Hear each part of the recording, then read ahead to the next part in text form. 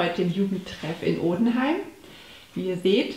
Und wir machen weiter mit unserer Interviewreihe.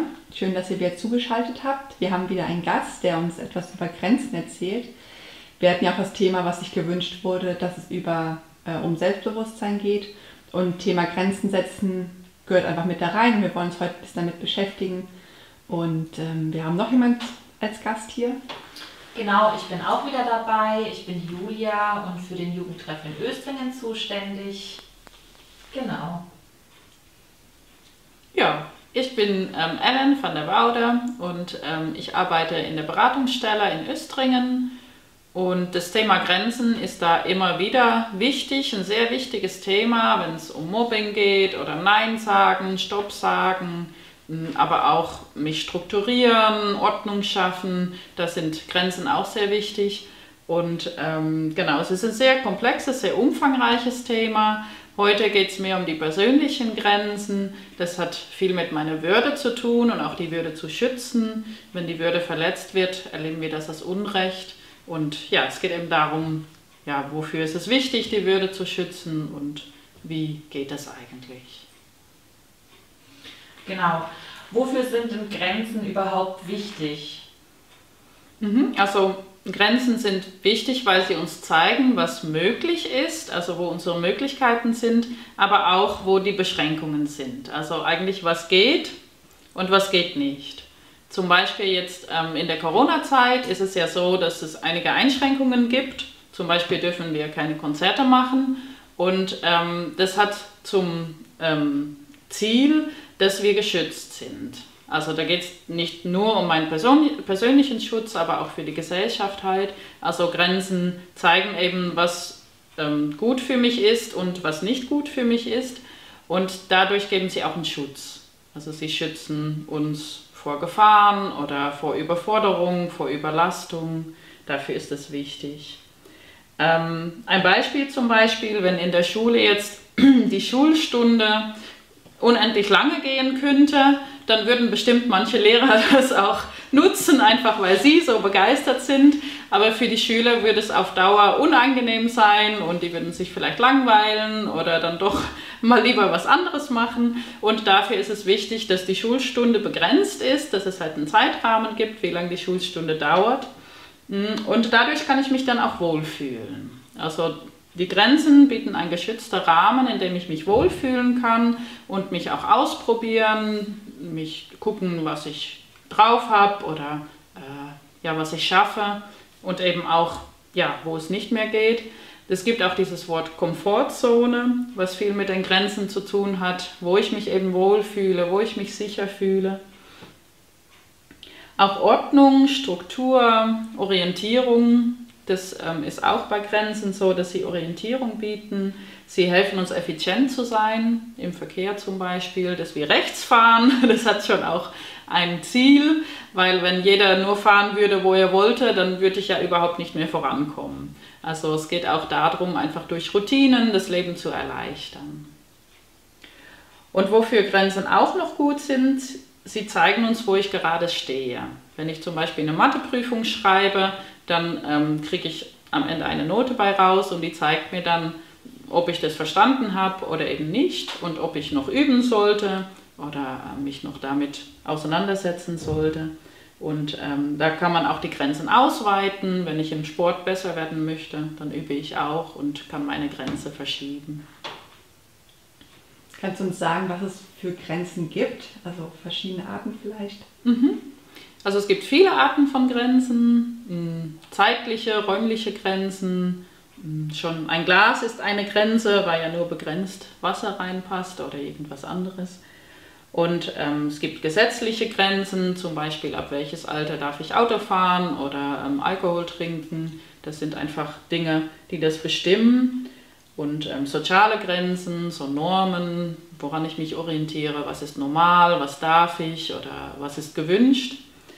Und ähm, es gibt eben auch zwischenmenschliche Grenzen, da geht es um meine persönliche Grenzen, was mag ich, ähm, was ist für mich angenehm? Und eben auch, was möchte ich nicht, wo merke ich, dass, es, dass ich das nicht mehr möchte.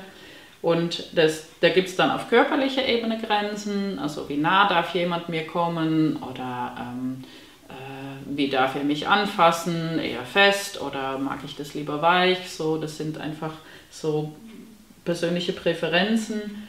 Mm, und es gibt auch emotionale Grenzen. Da geht es mehr darum, zum Beispiel, wie viel möchte ich in eine Beziehung reingeben oder in eine Freundschaft und wo merke ich, jetzt habe ich so viel reingegeben, dass ich das nicht mehr möchte oder es kommt nicht genug zurück und dann erreiche ich da eine Grenze.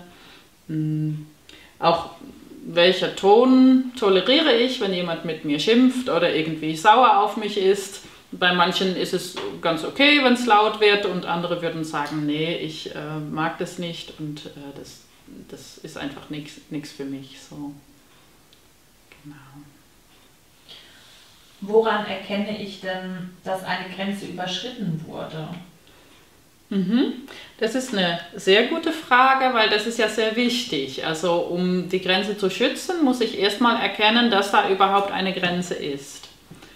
Und ähm, wenn es um irgendwie Dinge geht, die ich mache, dann erkenne ich die Grenze daran, dass ich Angst bekomme oder Überforderung spüre. Also ich merke dann, dass es zu viel wird.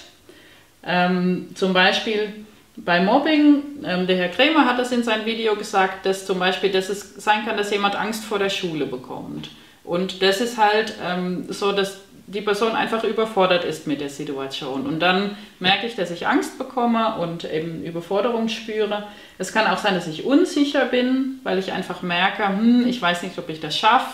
Vielleicht, wenn ich äh, irgendwo drüber springen möchte und ich nicht so gut abschätzen kann, hm, komme ich über den Graben oder werde ich nasse Füße bekommen? Und ja, das äh, zeigt einfach so, dass da eine Grenze ist. Diese Angst ist ganz wichtig, weil die mir dann auch hilft, darauf zu reagieren und zum Beispiel Unterstützung zu suchen oder ähm, mich zurückzunehmen oder Hilfe zu holen. Also da, dafür ist es auf jeden Fall gut. Das hilft auch, wenn ich an eine Grenze komme. Im zwischenmenschlichen Bereich merke ich die Grenze eher durch, dadurch, dass es weh tut. Das kann körperlich sein. Also wenn jemand mich wirklich körperlich angreift, dann ähm, kann ich das ja nachweisen. Vielleicht habe ich einen blauen Fleck und kann sagen, ja, das hat weh getan. Hm, da ist sehr sichtbar. Im emotionalen Bereich ist es so, dass das nicht direkt sichtbar ist, weil ich es ja nicht irgendwie erkennen kann, aber es tut genauso weh. Da gibt es so Hirnforschungen, die zeigen, dass der Schmerz, der eine körperliche Verletzung auslöst, genau gleich ist im Gehirn wie ein Schmerz, der eine emotionale Verletzung auslöst. Und ähm, hm, bei dieser emotionalen Ebene, das habe ich vorhin schon gesagt, da geht es um die Würde, also dass meine Würde verletzt wird oder auch meine Persönlichkeit oder ich persönlich angegriffen werde. Und das spüren wir dann auch, dass das Unrecht ist, dass es ungerecht ist und da ist dann auch so ein Impuls, mich schützen zu wollen. Das kann zum Beispiel sein, dass jemand Macht über mich ausüben möchte, über mich bestimmen möchte oder auch ähm, äh, so ab, mich abwertet mich fertig macht. Bei Mobbing ist es auch ein großes Thema, dass immer wieder Grenzen verletzt werden. Und ähm, genau. Die Grenze ist aber auch sehr tagesformabhängig und situationsabhängig. Also an manchen Tagen, wenn ich gut geschlafen habe und vielleicht noch eine gute Note bekommen habe und ähm, ein schönes Gespräch mit meiner Freundin hatte, dann ist meine Grenze vielleicht ein bisschen weiter, dann halte ich ein bisschen mehr aus. Wenn ich schlecht geschlafen habe und dann gab es noch Stress in der Schule, dann bin ich eher empfindlicher und äh, wird schneller reagieren. Und letztendlich gibt es halt keine Regeln, wann eine Grenze überschritten wird, aber ich spüre das. Ich merke das, dass das eben weh tut und dass das so ein Impuls ist, ich möchte mich jetzt verteidigen oder ich möchte mich jetzt schützen und daran merke ich, dass die Grenze überschritten wurde. Kannst du uns doch sagen, was es mit mir macht, wenn meine Grenzen von jemand überschritten werden? Mhm.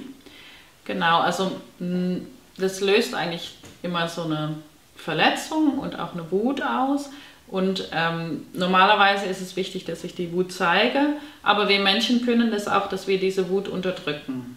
Also, dass wir das nicht zeigen. Und ähm, das ist in manchen Situationen sehr, sehr wichtig und sehr sinnvoll. Wenn ich einfach sehe, dass das ein Bär vom Kerl ist, der mir gegenübersteht, dann ist es vielleicht nicht so gut, wenn ich das direkt zeige. Hm, also, wir passen das immer der Situation an. Hm, aber das auf Dauer zu unterdrücken, ist nicht gesund. Also, das ist gefährlich für uns. Hm, genau. Also erstmal kann ich das so ein bisschen erklären mit so einem Glas Wasser. Und zwar, was passiert, wenn ich das verschleppe? Zum Beispiel, wenn ich morgens aufstehe und ich bin irgendwie, ich habe schlecht geschlafen, bin ein bisschen schlecht gelaunt, dann ist, so, ist vielleicht mein Glas so ein bisschen schon voll. Also da ist schon ein bisschen was drin. Also ich bin nicht ganz entspannt, sondern ein bisschen Anspannung ist schon da. Jetzt komme ich zur Schule und ähm, der Bus hat Verspätung und ich komme zu spät und ich ärgere mich darüber. Hm, aber weil ich halt sehr nett bin, zeige ich das nicht so und ähm, das macht dann, dass das Glas noch ein bisschen voller wird. Dann ähm, bin ich in der Schule und ähm, in der Pause gibt es einer, der immer so ein bisschen blöd ist und der ähm, versucht mir den Schulranzen zu klauen und das ist einfach ja, blöd und da wird das Glas noch ein bisschen voller. Ich bin zwar weggelaufen, aber ich habe mich geärgert und ich habe es halt einfach nicht gezeigt. Jetzt hm, habe ich noch Matheunterricht und Mathe ist nicht so meins, da bin ich nicht so gut drin und ähm, äh, es gibt eine Aufgabe, die ich nicht lösen kann und auch da wieder, ich ärgere mich wieder und ähm, wie ihr seht, wird das Glas immer voller so unterm Tag. Und ähm, mm, ja, vielleicht ist noch eine Freundin in der Pause, wo ich mich verabredet habe, nicht da. Und auch da wird das Glas ein bisschen voller. Hoffe ich, dass das Wasser auch reicht. genau. Und ähm, wenn ich dann nach Hause komme, ah ja, super, da gibt es noch mehr. Wenn ich dann nach Hause komme und ähm, ich habe eine kleine Schwester oder einen kleinen Bruder oder vielleicht auch ähm, mein Vater oder meine Mutter sagt irgendwas zu mir und fragt einfach, ja, wie war denn der Tag? Und ich merke, ich habe überhaupt keine Lust zu antworten. Jetzt mal gucken. Nee, das reicht nicht. Da brauchen wir noch ein bisschen. Genau. Und dann passiert es, dass dieser ganze Ärger oder vielleicht auch ist die, die Schwester zu laut oder der Vater ähm, sagt, dass ich mein Zimmer aufräumen soll. Was dann passiert? Tschupp, das Glas läuft über. Und was dann passieren kann, ist, dass ich einfach explodiere. Dass ich sage, jetzt reicht mir's und überhaupt und ich schimpfe und schlage mit den Türen. Und eigentlich ist es dann viel zu viel für die Situation. Also das passt dann nicht mehr zusammen. Und ähm, das liegt auch nicht an dieser eine Situation, sondern das ist, weil es sich so aufgestaut hat. Also wir Menschen können das, dass sich das aufstaut und das kann eben dann dazu führen, dass das nicht mehr ausgeglichen ist, dass ich zu heftig reagiere. Und ähm, ja, dann gibt es eben Sauerei und dann muss ich auch wieder gucken, wie ich das auflösen kann, wie ich das wieder gut machen kann. Das ist alles gar nicht so leicht. Hm. Das ist ein Ding, was passiert, wenn ich eben über meine Grenzen, Menschen über meine Grenzen gehen lasse. Und wenn ich das auf Dauer mache, dann ähm, kann es passieren, dass ich das immer in mich reinfresse, also so wie man das sagt. Und ähm, das, was passiert, ist, dass das an mein Selbstwert geht. Also ich spüre einfach, dass ich selbst meinen Wert nicht verteidige und das zeigt sich dann auch nach innen. Es kann sein, dass es wirklich in so etwas Depressives geht oder dass ich auch Angst habe, zum Beispiel in der Schule zu gehen, weil ich einfach weiß, dass ich mich nicht gut schützen kann und das macht dann auch Angst vor so Verletzungen. Genau. Und ähm, eine Gefahr dabei ist auch, dass andere das ausnutzen, weil sie das dann auch spüren. Zum Beispiel, ähm, wenn jemand merkt, dass ich ihm immer einlade, wenn er halt kein Geld dabei hat, dann hat er vielleicht auch öfters mal kein Geld dabei. Und ja, dann äh, muss ich halt immer zahlen. Und wenn ich mich nicht wehre, dann passiert es immer wieder. Und äh, ja, wie gesagt, das tut der Psyche nicht gut, weil ich einfach dann merke, dass ich meinen Wert nicht schütze. Wie mache ich denn meine Grenzen sichtbar? Also wie kann ich da bewusst irgendwie einen Stopp zeigen? Was gibt es da für Möglichkeiten? Mhm. Hm. Also hm, es gibt da zwei Richtungen eigentlich. Also wenn jemand meine Grenze verletzt, es hängt immer auch ein bisschen davon ab, wie die Person zu mir steht.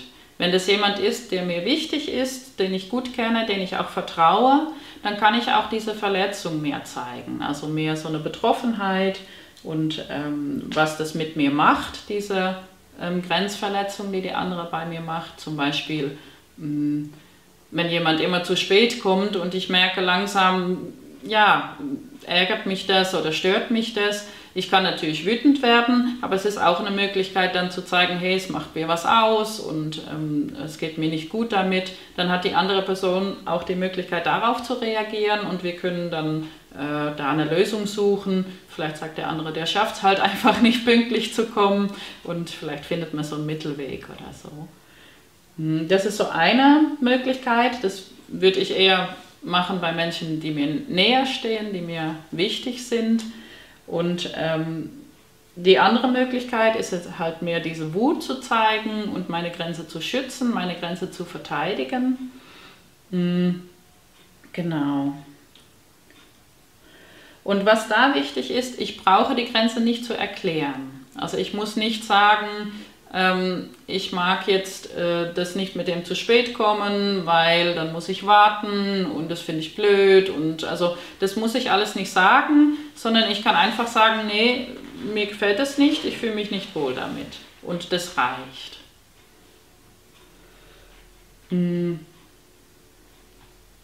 Genau, und erstmal ist es dann auch wichtig, dass der andere die Grenze annimmt, dass er die Grenze achtet. Und dann kann ich immer noch schauen, ob ich mich mehr erklären möchte, wenn der andere nachfragt vielleicht, oder ob ich sage, nee, äh, ich möchte mich nicht erklären, ich möchte einfach, dass die Grenze geachtet wird.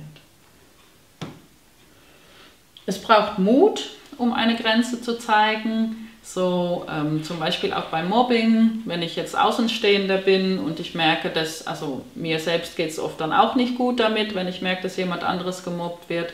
Und da dann was zu machen, was zu unternehmen, das braucht auf jeden Fall Mut. Oder auch wenn ich selbst merke, dass irgendeine Grenze verletzt wird, wenn jemand zum Beispiel ähm, äh, mich beschimpft und ich sage, nee, äh, das mag ich nicht und der andere sagt, oh, das war ja nicht so gemeint und äh, das war nur ein Witz oder so, um dann zu sagen, dass ich das wirklich nicht möchte, muss ich ernst bleiben und auch das sehr deutlich sagen.